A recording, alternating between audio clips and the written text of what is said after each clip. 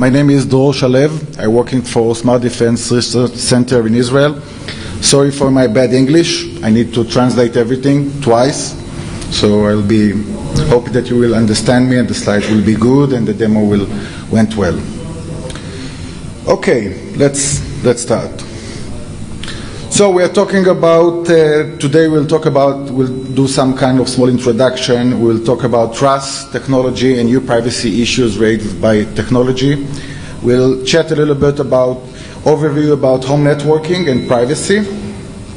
I will give you the steps to make a crazy toaster, like I did here.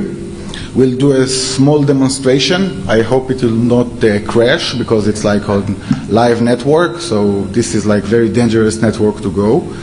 So if it won't uh, work, you have to forgive me. It worked this morning.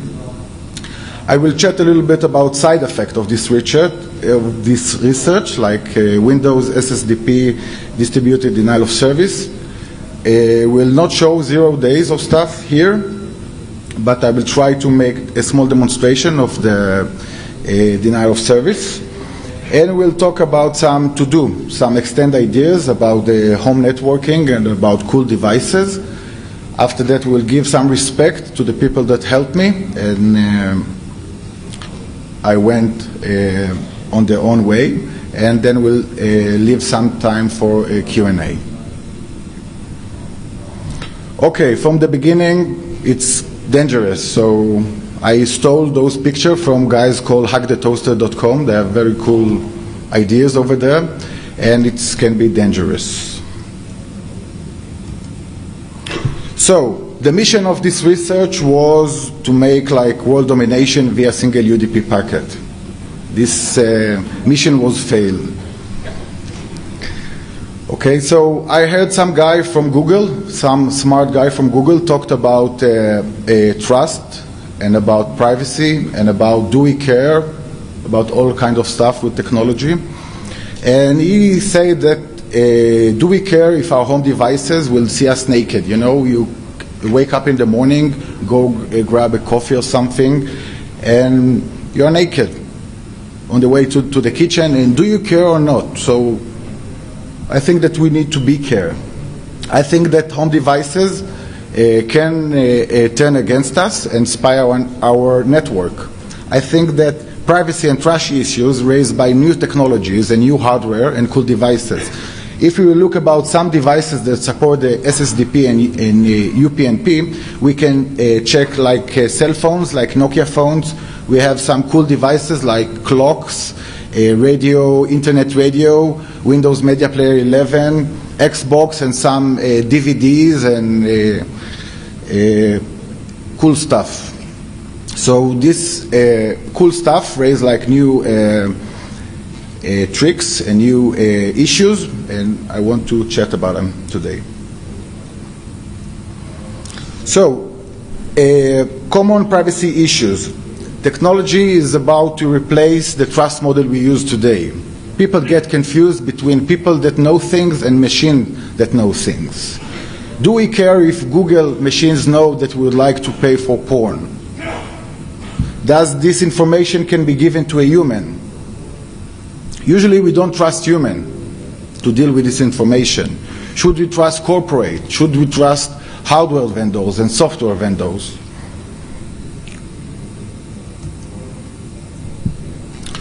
Home devices in XP and Windows Vista have some kind of new component. You can see in the lower button the lower side of the screen, you can see some kind of uh, way of icon that uh, when we use devices uh, that is uh, internet enabled, uh, the, the Windows box and the Vista box have support for those uh, devices.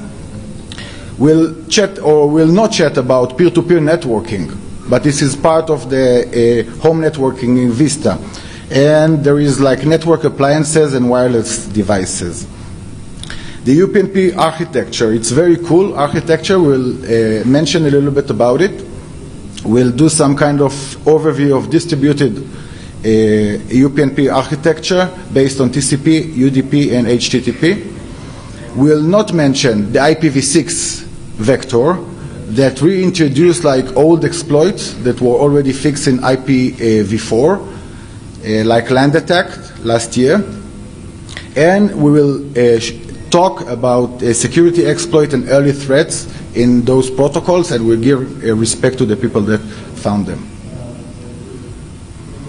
In uh, New Vista, there is a better uh, support for device discovery. So you can see that uh, devices and software can be easily uh, discovered. Those uh, protocols behind it's NetBIOS, UPnP, SSDP, and some other protocol that don't really know about it. Okay, in Vista, there is the peer-to-peer networking, people near me, uh, feature, network discovery, and media sharing. So if you can see in my slides over there, I just uh, mentioned, the, I will just show the network discovery and the media sharing feature in Vista. And if we are talking about device scenario, we are talking about smart home, about uh, computers all over in kitchen, living room, master bedroom, garage, or I don't know where.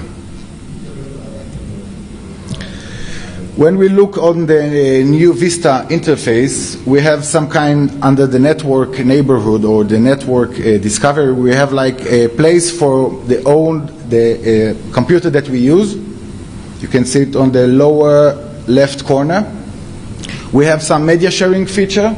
It's the second one from the left, and we have uh, uh, some fake devices that we can add, like the remote UI client the crazy toaster and the fake Intel access point. So this is the presentation page, and this is the uh, when someone wrote his device description. He can choose whatever he like to put inside over there.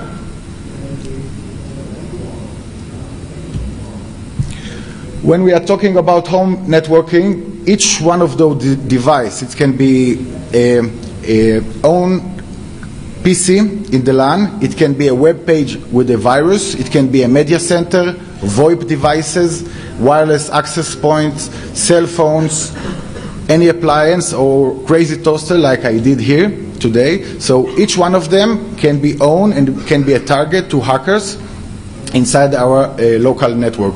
We'll use wireless connectivity to advise ourselves and show our stuff over there.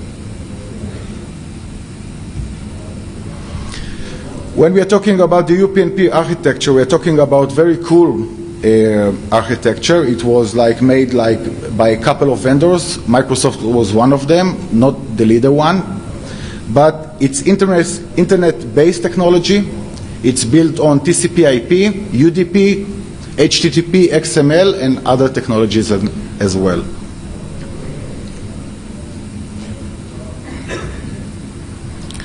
The UPnP support in uh, XP is divided to two parts. Uh, the SSDP, the Simple Search uh, Discovery Protocol, is a, a service that is uh, default enabled. And the UPnP that uh, show the presentation and talk with the devices is, uh, is not enabled by default. So we have a listening port in port a 180, 1,000, 2,000, I will show you by written later. So we have a support for Internet Gateway device discovery, and we have support for a couple of components inside, but not all of the uh, picture is, is still ready. That was changed on Vista. On XP installation, we can uh, find our device under, uh, we can install it under the uh, network services. We have a, a, default support for Internet Gateway devices. If, you can uh, look on the graph over there, we have a four-step, um, four steps uh, when we do our, um, when we add our device to the network. We have four steps. The device join the network, advertise its presence by doing a multicast. The control point. So the control point in our point is the XP system. He asks for device, for device description. It's an XML-based uh, technology. The device gets the service description that the device is supporting, and then the computer, the control point, invoke methods and start to uh, control the device itself. Some early threads that was uh, found in the SSDP and UPnP stuff. Part of them was uh, found in the XP boxes, like the previous one, the first one. Uh, part of them was found in the device itself. Lots of research made by uh, EI. They are very cool guys. They did lots of uh, crazy stuff in lots, lots of protocols, so they have get the respects over there. We see uh, vulnerabilities in devices like appliances, routers, and stuff. Part of the the exploits were buffer overflows. Part of them was um, some logical bugs that allow opening ports and get username and password of uh, ADSL stuff. And part of them was a DCRPC. The major one was DCRPC, uh, found by iDefense and a couple of more people. Uh, it was a DCRPC interface for the UPnP, and it was it wasn't like broadcasting stuff, but it's the same stuff. The last one was found by uh, Michael Lane. It wasn't on the Microsoft, it was on the OS uh, Bonjour. So it's very similar to SSDP and UPnP, but it's work over DNS. But it's same, same stuff over there, and it's do the same. So, let's talk about steps to create a crazy toaster Trojan. When we started this research, this research we look for open uh, services in, in XP. And we found the SSDP and the UPnP that is uh, related to the SSDP. And we realized that not only routers, media players, and servers and other cool stuff can connect to the networks, but also that can be used for the attackers a scenario of crazy toaster, a Trojan device, or a software with TCP/IP capabilities like router, media players, access point that join to the local network is uh, is possible, and it start to make like hacking inside the uh, the local LAN.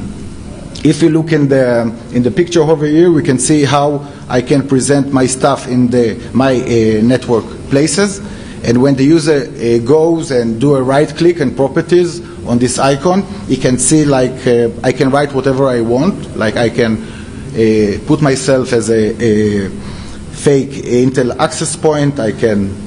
There is no really SSL certificate or any uh, something that will verify my true ideas.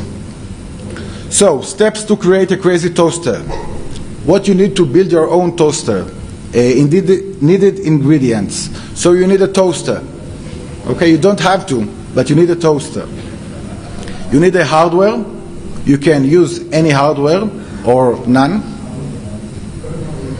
You need a software. I choose, because I'm very lazy, I choose a, a, a stack vendor sample from Intel. There are a couple of them, but I was very lazy. I took the Intel one it's cross-platform. It's very cool, and you just need to take it, compile it, and run your stuff. Also, you need network access to victim network. It can be a warm victim. We will use multicast to broadcast our uh, present inside the network. And we will use some uh, social engineering and physical or physical access. So I can be part of the network, or I can just take my toaster and put it near the window of the of the guy, not not even inside the home, and just uh, use the wireless network. The Intel SSDP and UPnP stuff uh, SDK is very cool. They have three layers. There is the client or service application. This is the application that I wrote. In this case, I just put some kind some uh, of browser exploits over there and I put it inside a web server and I did uh, forwarding to a third party website and uh, run my code from there. We have the, the SDK layer from Intel that give us the web server, the HTTP, SSDP support, uh, Gene, SOAP, and XML parsers over there, so they give us everything we need. to run our stuff, but we also need some kind of TCP uh, stack uh, given by the operating system. Some problems of this cool project. So we had the heat problem. Okay, if someone is turn off the toaster, the computer or the hardware inside can melt. We were, I wasn't able to uh, solve this problem, the heat problem. We had some Linux to Nokia IPSO porting issues. So I wanted to bring like a cool software or cool hardware to plug into the toaster, and I had to rewrite everything, like every the TCP, uh, TCP IP stuff, like socket stuff, to uh, run on the cool uh, Nokia uh, IPSO. We use in Checkpoint we use the Nokia IPSO to run our firewall over there. So. Um, they didn't like the idea that I would like to present a Trojan on the same hardware, but it was a cool one. And last one, we had the shipping problem. How can I bring my toaster with all those stuff here? I can. How can I go via custom? I wanted. I didn't want to go to Guantanamo Bay instead of uh, come to Las Vegas. So we had to FedEx everything. Okay, our Crazy Toaster will advertising present on Victim local network. We will use the discovery process that we will use. We will use HTTPU. It's HTTP over UDP. We will do UDP multicast to all of the networks, so I don't really need to know about my victim's uh, network. The multicast is to this strange address because I'm very nervous. I can't really pronounce all the numbers over there, but it's go to, to this port that is already uh, listening in XP and on Vista. We'll send a couple of packets, multiple, multiple uh, uh, multicast packets over UDP. We'll do some social engineering. We declare ourselves as some uh, standard computing equipment or kitchen appliance, and we can choose whatever we like to do. And then we will wait for the victim for, for, for the LAN user to come and click our icon under the network neighborhood uh, place. The presentation web server, I had lots of uh, thinking. What should I present? Should I try to steal his Gmail contacts? Should I read his local, uh, oh, I'm talking about the victim, should I read his uh, inbox? Should I uh, write a Trojan? Should I do like, uh, I don't know, read stuff? Kill stuff. And I decided to go and use some uh, known techniques and experts from the wild. It's the MPAC, MPAC toolkit. It was like uh, one month before uh, uh on the news. They, it, the tool was uh, written by uh, Russian people, PHP scripts, very easy one. It's like a toolkit to allow people to install their own Trojan using a, a patch vulnerabilities. I came from I come from Israel. Okay, we are single CD country. We have one XP installation in all Israel, so not all of us get uh, patches, and um, and the toaster, uh, the uh, MPAC, the toaster will use just for pipe to uh, bring traffic from third-party website We'll retrieve the attack payload from the remote host, and then we'll run it from the local LAN. Okay, you can see some stuff that was uh, needed to this uh, crazy toaster. So I bought like a 15 bucks uh, toaster oven.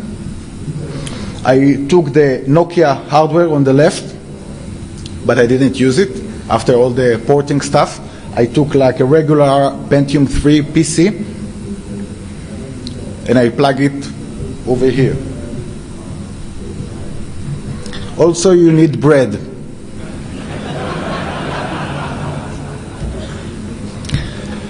In this demonstration, I will run the crazy toaster. We'll do the discovery process. We'll do the presentation. We'll do the social engineering, and I will show you the browser exploits. If we will have time, and I think that we will have time because I'm running, if we will have time, I will uh, open the uh, source code of the uh, JavaScript attack. This is a multi-platform attack that use uh, known techniques. When uh, someone come to the website, the, the site uh, gave him, send him to the right page to run his code over there. We'll not use the IPSO hardware and we will use the, I use the uh, Windows SDK to, to run everything. I do it on a live network, so I hope it will run.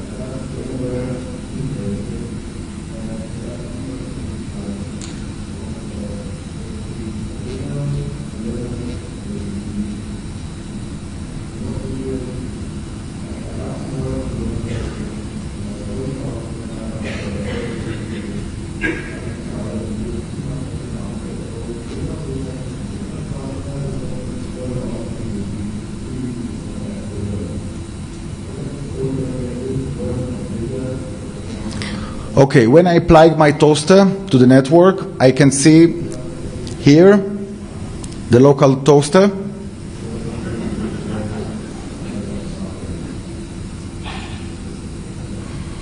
And when I first time plug my uh, toaster to the network, I see some kind of notification over here. Because I tested like 2,000 times before, we will not see this notification, but it's in the first time that you are there, it's pumping over there. So we'll ask our user to click on it. It's inside the LAN. And now we will forward the traffic to outside, to, our, to my web server. This is the MPAC. So now the MPAC is running. I put some alerts inside to, to show the process over there but we will try to download a Trojan, the same Trojan that I use in the toaster, and try to distribute it inside the network. So now, after the, I had some kind of uh, browser identification, so uh, this web server sent me to the right location. This is an un unpatched machine, so all the exploits uh, works over there. What, are, what we'll now try to do, the bug that was uh, really made all the mess of the MPAC was the bug that was found by Finjan. It was very logical bug. I heard lots of talks in DEF CON and in Black Hat about a heap spraying. Heap spraying became a huge problem. But this bug was some kind of logical bug.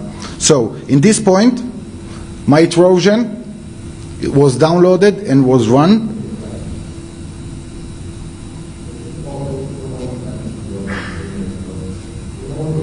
If that exploit uh, were failed, uh, the toolkit try lots of other exploits and try to run uh, until he get hit the, the box.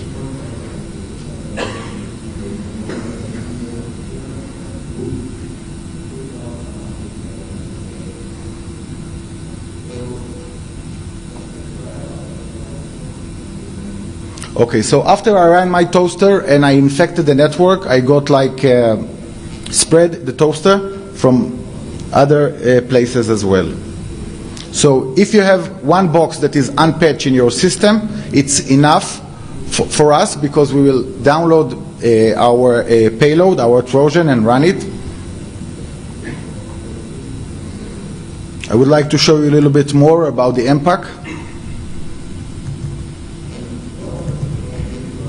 The MPAC was sold for a little bit less than 1K, and they promised to give like some updates to people that buy it. It's uh, PHP based, so you have statistics of how many exploits and how many traffics, what was the exploit that was used, and which OS they are running at. So it's help you like uh, inject stuff with malicious website. The MPAC was uh, quite uh, big hit, not because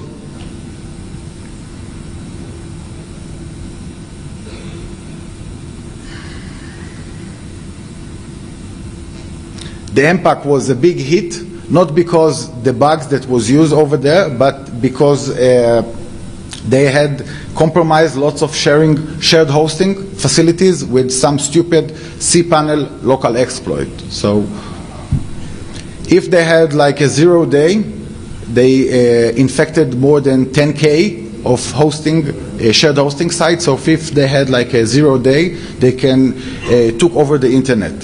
So a side effect of this research of this research was. Uh, some uh, way that the SSDP uh, protocol, the simple uh, search discovery protocol, we made like a distributed denial of service. It was a, a little bit uh, strange because we were able to kill all the uh, PCs on the local LAN, which wasn't a remote code execution, but we sent like a malformed or well formatted XML uh, document. So it wasn't, uh, we had some kind of recursion over there that uh, sent all the computers in the LAN to, to go to 100% uh, CPU. So we're talking about recursive logic bomb. We had some memory consumption, virtual page, virtual, virtual memory page uh, went crazy. So it took the computers a couple of hours to uh, go out from this 100 CPU um, effect. Sorry, I had some sh short uh, flashback. Too much LSD in the 90s. So. Okay, you have a very cool distributed damage and possible attack vectors for that but a, a, remote attacker must be inside the local uh, LAN segment to do it. it. it. can do it by a Trojan, it can do it by, by worm or by other stuff. MS promised to fix it on Service Pack 3 for XP. So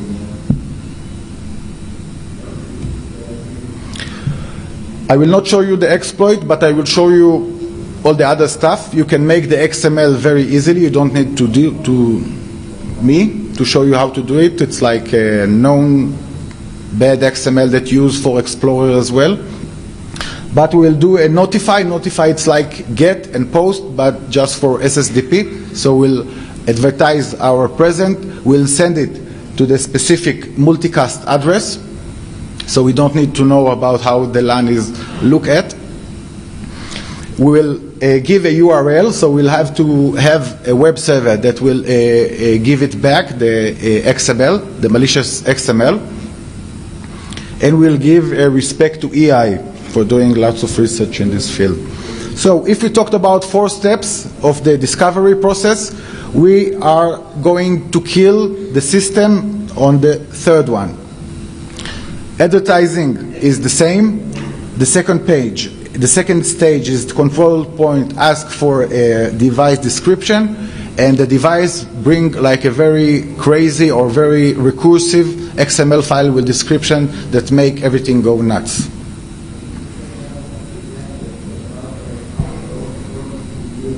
Okay, so we'll try to make a small demonstration about uh, how we make the smart home become a crazy home and I will try to, to show you the logic bomb discovery.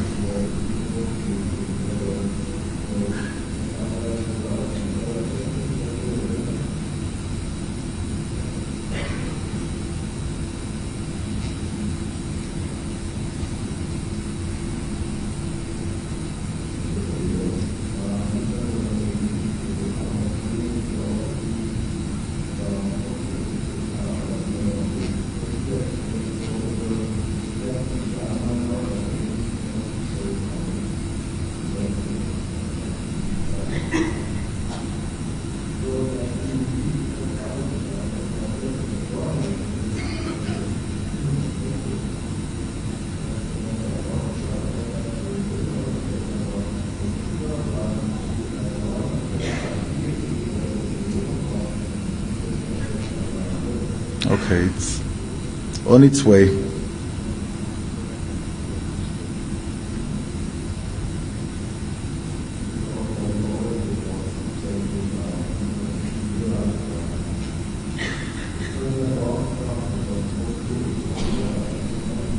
This is the exploit, it's Perl based.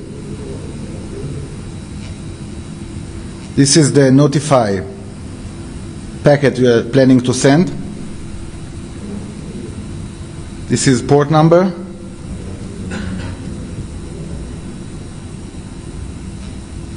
And this is the broadcast.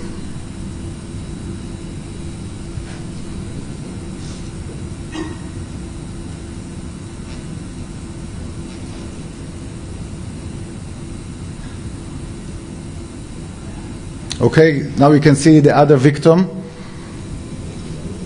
is 100% CPU.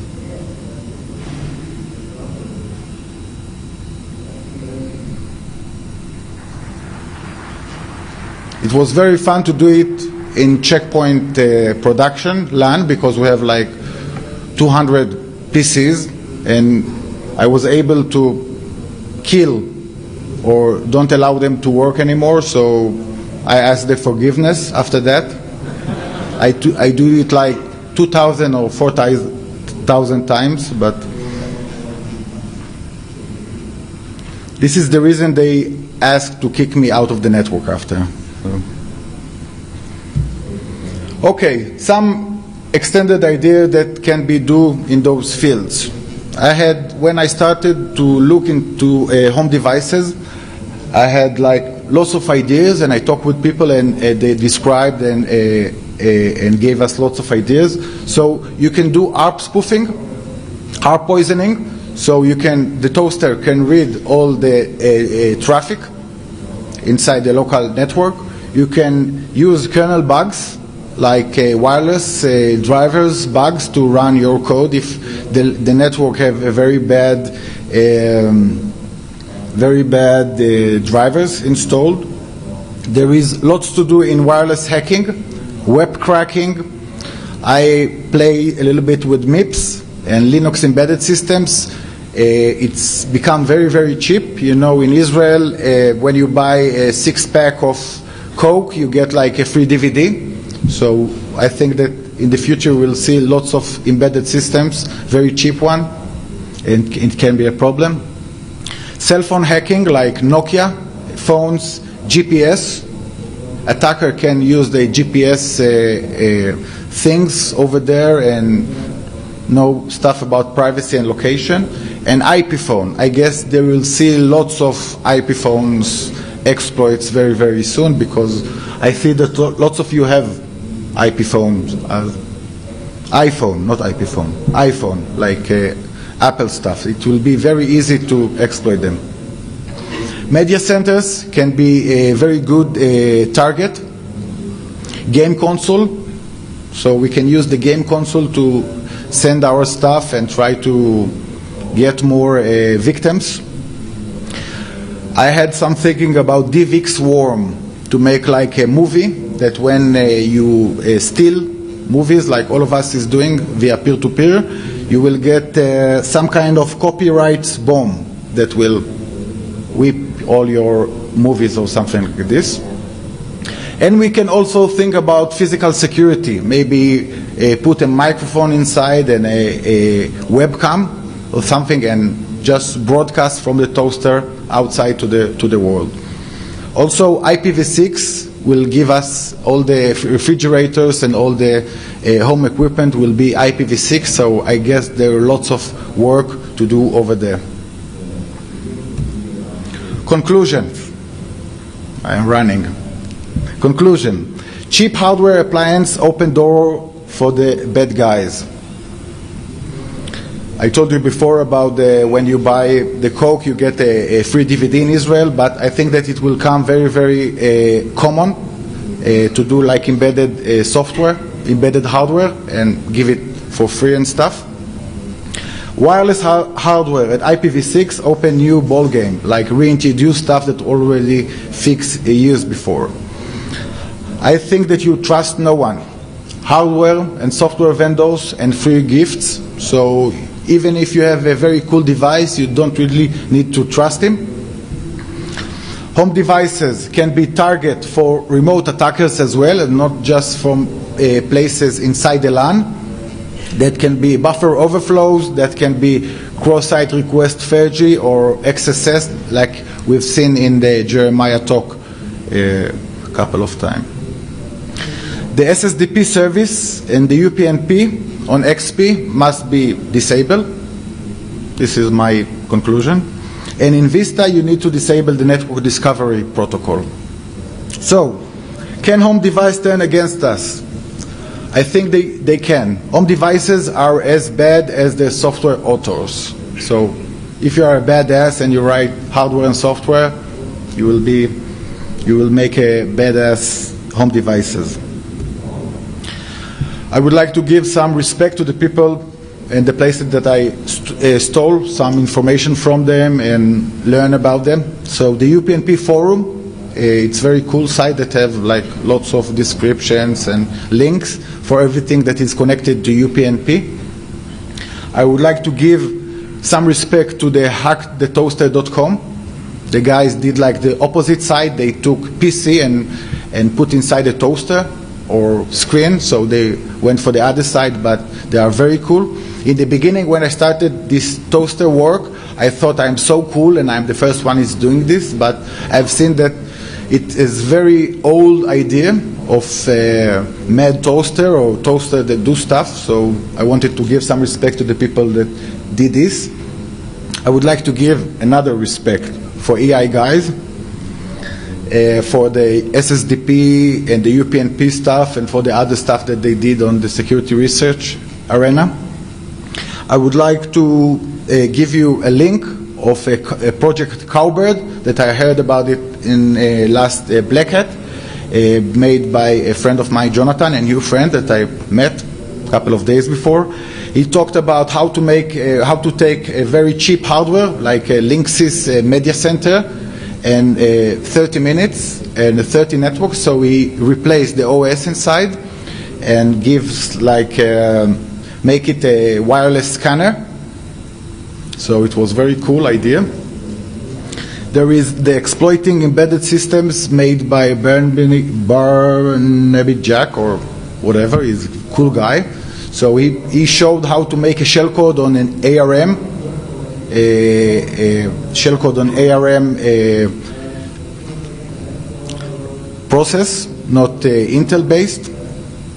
I want uh, to have links to the UPnP stack vendors like Intel, Cyberlink, and uh, Siemens. There is the OSGI Alliance. They are making the software for the future smart home, so it's very cool stuff. And on DEF CON 9, some dude called Dog showed a very cool way to do a talking toaster. So you need to go and look his work he did over there. Another website it's UPnP Hacks. That is was a very uh, nice one. Okay, so the slides and the toaster source code are in my website. You are um, you can go over there and download stuff. You can contact me Send me an emails, questions, everything. If you would like to play together, cool stuff, I'm ready. Any questions? Thank. you. Excuse me. Maybe next year. We are open for, for new ideas. Thank you for your time.